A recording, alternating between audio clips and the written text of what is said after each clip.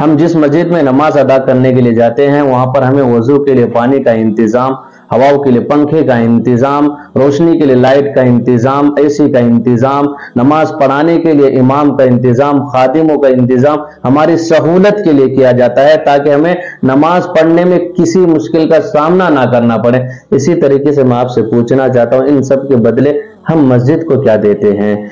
जबकि हम अपने मोबाइल का इंटरनेट का खर्चा इसी तरीके से स्कूल फ़ीस ट्यूशन फ़ीस इसी तरीके से गैस, लाइट, बिल, सब वक्त पर अदा करते हैं हम।